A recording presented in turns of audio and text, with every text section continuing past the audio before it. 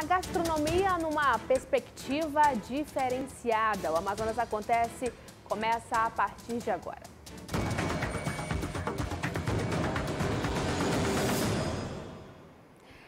Muito boa noite para você. Começa mais uma edição do Amazonas Acontece aqui na tela da Band Amazonas. O nosso programa está especial porque a gente recebe hoje aqui o empresário Tadeu Rocha. Tadeu, seja muito bem-vindo ao Amazonas Acontece. Seja muito bem-vindo, principalmente à casa da Band Amazonas.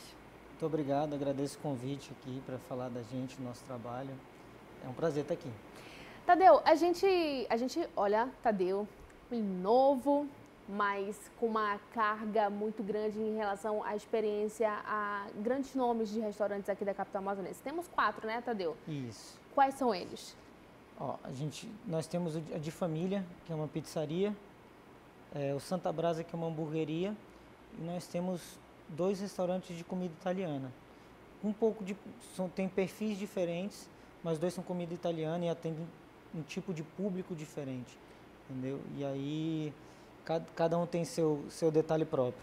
Exatamente, sobre essa singularidade, né, assim, de cada é, restaurante, de cada segmento, a gente fala aqui que a, a, capital amazonense, ela é muito plural. Eu falo plural porque a gente tem um pouquinho do regional, a gente tem um pouquinho ali do oriental, a gente também tem a comida italiana. O público, como é que é para a comida italiana, Tadeu?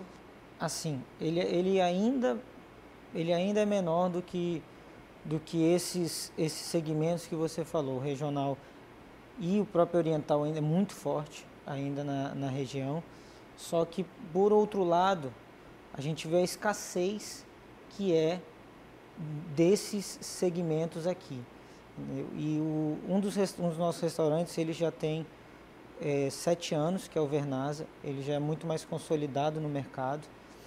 É, e, e ele é o maior delivery de, de, de comida italiana de Manaus. E a gente, a gente é, como, é, como, como é que eu posso dizer? Ele mesmo sendo escasso, a procura ainda assim é muito uhum. grande. Por quê?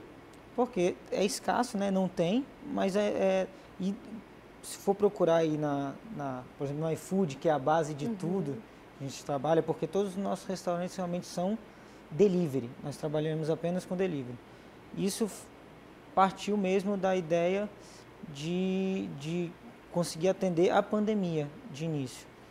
E, e o Vernasa já não, não fazia parte do nosso, do nosso, dos nossos restaurantes foi fazer parte depois de, depois de um tempo que a gente entrou no mercado. E como é que é que foi é, nesse momento de pandemia? Já que Vernasa tem o quê? Tem sete anos, né? Então passou, por exemplo, por esse processo. É, a, a, a, grande história é que o, o meu sócio, que é o chefe de cozinha, quem, é quem cuida de toda, toda a parte criativa e a parte de cozinha dos nossos restaurantes, que é o Haroldo, o chefe Haroldo, ele já tinha, ele, ele criou o Vernasa há sete anos atrás e aí foi, ele foi embora estudar na Austrália. E aí quando ele voltou, ele, fez, a gente, ele comprou o Vernasa novamente, junto comigo, junto com o nosso, nosso grupo de restaurantes. E aí retomamos essa caminhada, mas a caminhada inicial do Vernasa já tinha sido com o Haroldo. Uhum. E, falando em pandemia, é, é, nossas vendas, claro, cresceram. Isso aí, isso aí a gente acabou tendo um crescimento bem grande. E, foram, e, e, a gente criou outro restaurante, foi o nono. Tudo começou com Santa Brasa, o Santa Brasa foi o primeiro. Aí criamos o nono, e aí houve a oportunidade de, de o Haroldo retomar a caminhada dentro do Vernasa, e, e assim fizemos, né? Adquirimos o Vernasa, e aí eu, e, o, e o de família junto, os dois eram do, do mesmo grupo também, a gente comprou esse grupo e ficou com, ficou com os quatro restaurantes. Dentro da pandemia, as vendas foram crescentes. Claro, a gente teve uma crescida muito grande, mas também enfrentou outros obstáculos. Quais foram?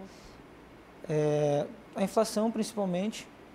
É muito, é muito difícil a gente ter que fazer reajustes de valores, empurrar para um cliente, que um cliente que está com menos dinheiro. Uhum. Entendeu? É assim, hoje, como é que eu vou fazer o cliente pagar mais se ele está com menos? Essa que, é, essa que foi o maior, o grande desafio da pandemia para a gente foi isso.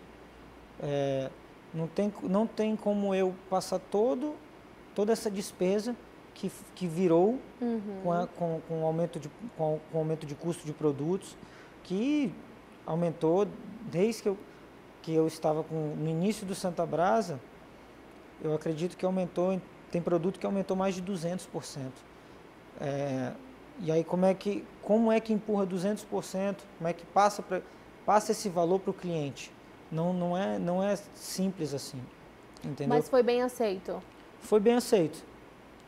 É, foi feito, mas é uma dificuldade grande explicar para o cliente, criar uma nova cultura, é, que ele precisa entender que não tem mais como ser o que era antes é, em relação a valores, entendeu? É a grande dificuldade que a, que a gente teve que trabalhar. E hoje, hoje, posso dizer que a gente conseguiu encontrar esse equilíbrio aí para conseguir fazer essas, esses ajustes para continuar sendo saudável.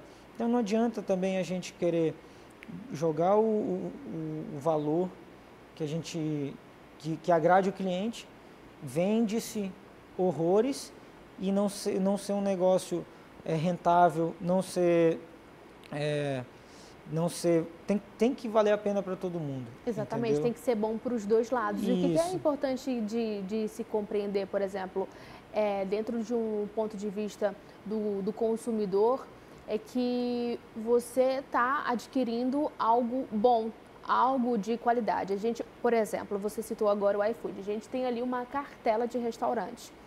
É, restaurantes de vários, é, como eu posso colocar, vários itens de qualidade. Por exemplo, assim, um não é tão bom, o outro já é muito melhor e tudo mais. Então, assim, é realmente você ter a certeza do que você está comprando é algo bom, né? Então, ele tem um preço por isso. Então, assim, ah, hoje eu quero comer uma comida diferenciada, uma comida que fuja do meu cardápio, mas eu estou ciente de que eu vou pagar o preço por isso. Não, e a grande realidade, uma coisa que tem um, tem um empresário aqui em Manaus, que é meu amigo pessoal e, e assim, eu, me, sempre me ajudou muito e, e, me deu sempre dicas. E hoje ele até, ele até dá cursos sobre isso, que é o Djalma Neto. Não sei se você já ouviu falar, é o, de uma rede, rede de sushis aqui de Manaus, Sushi Ponta Negra. E ele, ele sempre me ajudou muito. É, já vou, vou até encontrar ele depois daqui. e, e assim, ele, ele sempre discutia essa essa situação de, de preço com ele. E assim, uma coisa que ele sempre deixou claro para mim: não adianta você ser o mais barato. Porque o mercado está aí, ó, e é uma metamorfose contínua. E vai sempre vir alguém que vai fazer o mais barato que você ou igual e melhor. Então você tem que ter o valor, você tem que trabalhar pelo valor do produto e não só pelo preço. E foi aí que a gente conseguiu criar essa cultura é, de, não, de não baixar nossa qualidade, entendeu? investir na nossa qualidade, continuar com a qualidade. Ah, mas é, ficou muito caro um certo produto porque realmente a matéria-prima dele acaba sendo muito elevada. Tudo bem, a gente vai continuar com, com esse produto e vai manter a qualidade. Porque independente da crise ou não, existem sim pessoas que procuram esse nicho. E, e elas são sim as pessoas que basicamente estão, é, que fazem parte do nosso negócio. Pedem sempre, entendeu? Tem uma frequência muito grande de uhum. pedidos e que valorizam o seu pedido. E independente do preço, eles pagam porque sabem que o produto realmente tem um valor e não só o preço. E, é, e foi por esse caminho que a gente conseguiu equilibrar essa grande dificuldade que a gente encontrou na pandemia. Agora, Tadeu, por que delivery e não o físico? Eu, ó, eu parto assim, eu sempre parti do, do, do, princípio, sempre acreditei muito num, não é tão recente, mas é, é uma é uma é uma forma de se trabalhar recente que é o, a dark kitchen que chamo é onde onde eu consigo me, me posicionar dentro da cidade é, para saídas do delivery consiga encaixar bem para onde um, um centro da cidade onde tenha saídas para vários lugares. O custo de imóvel, nesse caso, é menor, o custo de operação do delivery é menor, o custo, o custo ele é muito baixo. Vi, vi conheço, como nós restaurantes nos conhecemos muito, todos os donos e etc. Eu, vi, eu sempre vi o que eles enfrentaram na pandemia, que, que foi o alto custo que eles de operação deles, que foi o maior, maior problema de quem tem o físico, quem tem restaurantes físicos, foi operações altas. E essa aqui foi a grande barreira é, para mim e por, e por eu sempre acreditar no delivery dessa forma, porque o custo realmente é muito baixo para a gente conseguir operar. Então, então, a operação do restaurante físico é muito maior que a do delivery. Mas há uma expectativa para ir para o físico ou não está no projeto ainda? Assim, é a primeira vez que eu estou falando em público. eu tenho alguns amigos próximos, mas é a primeira vez que eu tô, realmente estou falando em público. Mas é, nós iremos abrir um restaurante em fevereiro. Já está em obras. A gente ainda não, não falou nada, mas esse restaurante já tem uma história do passado. Se pegar a história, a, a história do Haroldo, que é o nosso, nosso chefe, ele já tem uma história familiar muito grande na, no, no, no, mundo da gastronomia amazonense. O pai dele é o chefe Tony. O Tony já ganhou inúmeros prêmios. O restaurante dele já ganhou inúmeros prêmios. Que é, é como já ganhou melhor chefe pela Veja três vezes, como melhor restaurante quatro vezes na Veja e a gente vai retomar uma história de pai e filho aí, mas aí o resto fica mais para frente. Olha que legal. Temos uma exclusiva no Amazonas Acontece? Temos uma exclusiva no Amazonas Acontece que Tadeu acabou de colocar aqui pra gente. Mas a gente vai pro intervalo, Tadeu, pode ser? Vamos Tomar lá. uma água, digerir aqui direitinho e a gente volta é rapidinho.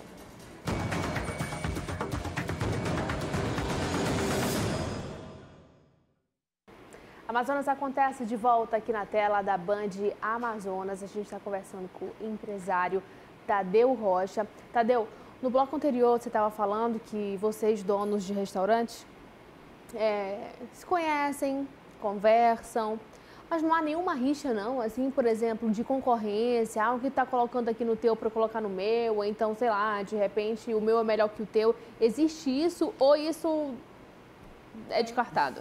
Assim, é, existe, isso é normal que, que isso exista, mas não, de fato, não da minha parte, não da nossa parte, assim, a gente nunca teve muito isso não. Até quando eu converso com, com os empreendedores que eu tenho contato, a gente sempre troca figurinha, é uma troca de figurinha honesta, sincera, falamos a verdade. E, e não existe nenhum negócio que precise dar errado para o meu dar certo. Muito bem. Legal, Entendeu? gostei. Agora, mas quando tem assim algum, alguma figurinha nova entrando no pedaço, há um ciúme, há como querer saber quais são as cartas? Como é que é que funciona, Tadeu? Há um estudo de mercado, obviamente. E muito, claro que, que ainda existe, mas a grande maioria não se cria. A grande maioria se copia, se transforma, se faz pior ou melhor. E isso que realmente vai determinar, principalmente no mercado escasso, que nem a gente ainda, ainda vive na gastronomia amazonense. É, então, tem, tem muita gente que pode me copiar e se fizer melhor é um mérito. Vai fazer melhor no mercado, eu estou deixando a desejar. Então, não posso botar a culpa numa pessoa que, que me copiou. Entendeu? Tem que botar a culpa em mim mesmo que não estou fazendo o, o, trabalho melhor do que deveria. Tem alguém fazendo melhor que eu. Então é aquela história do valor e do preço. Não adianta eu botar um preço lá embaixo. Se alguém vai botar um, um produto que consiga atingir o mesmo preço e fazer melhor que eu. A grande realidade é que eu preciso fazer o serviço como um todo. Entendeu? Como é que é, o, o Tadeu? Eu acho que quando eu fizer essa pergunta, acho que muita gente vai se identificar. Como é que é é, trabalhar com o público. Mas quando eu faço essa pergunta, eu penso ao mesmo tempo a, o inverso. Assim, o atendimento também deixa muito a, a desejar, né? Em algumas situações aqui, nossa. É, mas a primeira, como é que é trabalhar com o público e em relação ao atendimento? Como é que é que vocês trabalham essa questão da equipe? Assim, é, a nossa equipe é treinada constantemente de diferentes modos. É, todos os contatos com os clientes que nós temos é através do telefone, WhatsApp e do motoqueiro. Hum. Entendeu? E, a, ignorar o fator, o, fat, o fator do entregador é, é, é muito grande, porque a gente depende muito da, da avaliação do nosso cliente, principalmente falando em iFood. E aí vamos falar em iFood. A nota, às vezes as, as notas que aparecem lá, ah, o, o, o entregador foi mal educado, o, não, não manuseou certo pedido, ou algo assim, é porque a gente está deixando a desejar nessa parte de, de, de, de, de trabalhar o nosso atendimento, mas não adianta trabalhar só o WhatsApp, não adianta trabalhar só, só outras coisas, entendeu? Tem que trabalhar todos os contatos que a gente tem com o cliente. E um deles, e um grande deles, no meu caso, que é delivery, são os, os entregadores. Entendeu? Os entregadores existem, existe um certo tipo de, de incentivo para eles, é, ou seja, essa, esse incentivo ele tornou o que era reclamação virou notas boas. Por quê?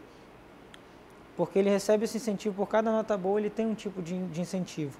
Então botam lá, exemplo, o meu entregador Rodrigo.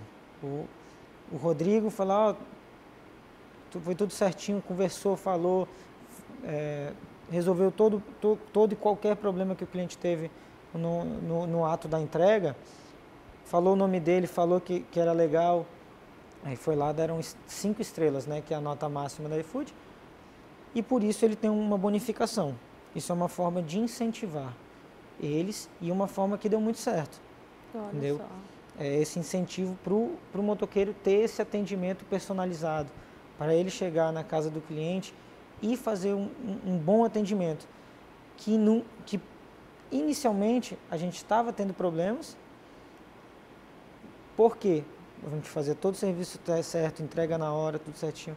Chegava lá no final e o atendimento não era correto. Mas o atendimento não ser correto não adianta, a gente não pode também passar a culpa pro pro entregador ou pro funcionário ou para outras pessoas. A culpa é minha, a culpa é do, dos gestores. A gente precisa trabalhar as pessoas. E é esse, eu acho que o caminho de fazer um serviço bom. Tá longe, longe, longe, longe de ser é, o, o, o, principal. Ah, qual é o principal, principal artifício para você fazer o, o serviço de qualidade? Não é a comida, não é a qualidade da comida. Entendeu? Não é a coisa mais difícil hoje fazer uma comida de qualidade. É, isso está tá em qualquer lugar. Agora, fazer um atendimento, um serviço como um todo de qualidade, que é a maior dificuldade.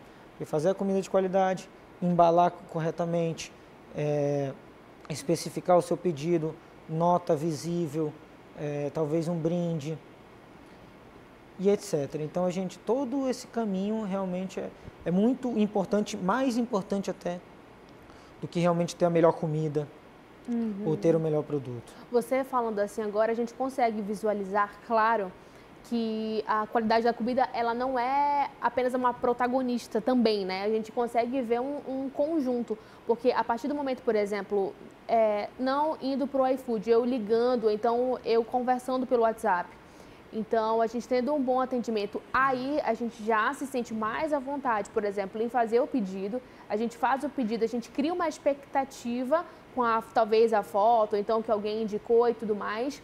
Então, e o pós-venda também, que é justamente também nesse momento também da entrega, se, se ficou legal ou não, se veio embalado corretamente. Então, realmente é um processo.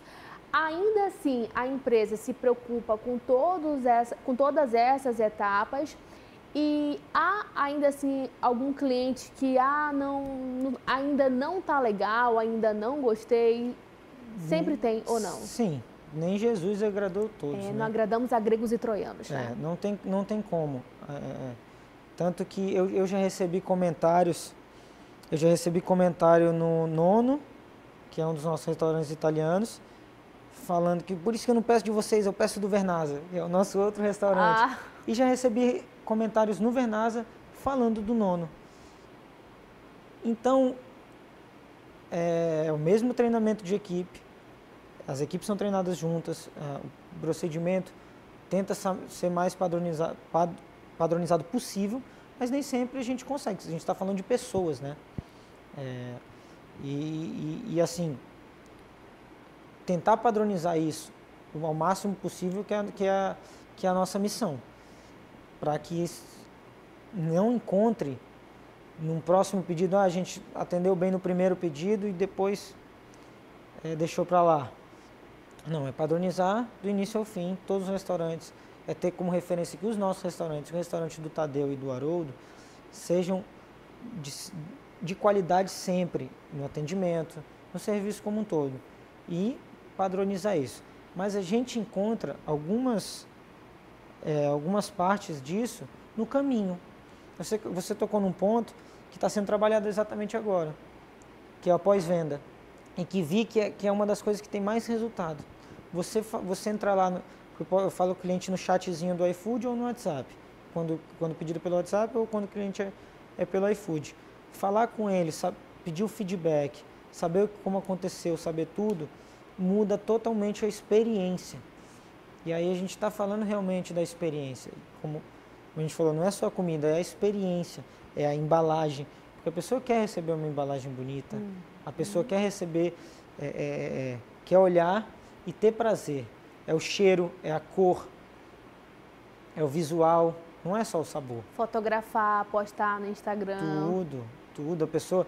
E, e coisas instagramáveis, né? Que as coisas instagramáveis acabam até sendo uma propaganda automática para gente. Uhum. Entendeu? Eu investi na minha, eu investi numa embalagem que, que são coisas que não são baratas.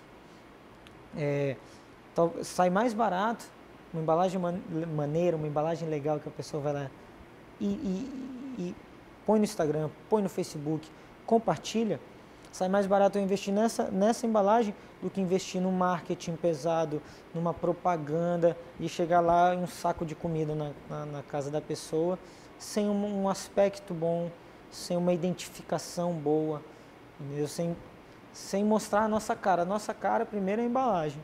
Então, a primeira coisa que a pessoa vê é a embalagem, não é a comida. Então eu não posso ter um, um, hambúrguer, um hambúrguer mais bonito do mundo se a minha sacola é feia. É verdade. Entendeu?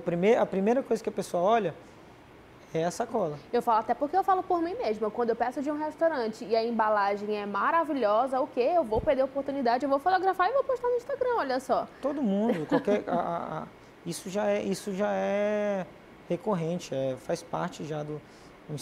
Quando faz é, a, o engajamento natural, o engajamento das pessoas é muito maior do que chegar eu mesmo no meu Instagram postar ou no Instagram das lojas postar. Porque você postar lá é qualidade, não tem. Não, não há dúvida que você está gostando de receber o pedido, gostando de receber a embalagem. Se você elogiou o produto, é porque gostou muito. Você é uma referência para as pessoas. As pessoas, eu como dono, provavelmente, eu, como é que eu vou falar mal? Vão olhar lá e vão, vão, Mas aí no momento que você posta, você vê, é, é 100% acreditável, né? Believable. Por, por, isso, Tadeu, se você quiser enviar lá para minha casa ou então para cá para Band, eu aceito. Não, vamos, vamos Tadeu sim, Rocha, eu quero muito agradecer. Tadeu Rocha. Rocha, muito obrigada. É, quero muito agradecer a tua participação aqui no Amazonas Acontece. A Band Amazonas está de portas abertas. Foi um prazer. Para você, Haroldo, enfim, voltarem aqui com a gente, para a gente contar mais novidades. Eu sei que em fevereiro tem coisa boa, então vocês voltam aqui com a gente para conversar certeza. mais. Pode ser? Pode ter certeza. Então, muito, muito, muito obrigada e até breve. Eu que agradeço. Foi um prazer. Gente, Amazonas Acontece vai ficando por aqui, tá bom? Te espero na próxima edição. Um beijo e até lá.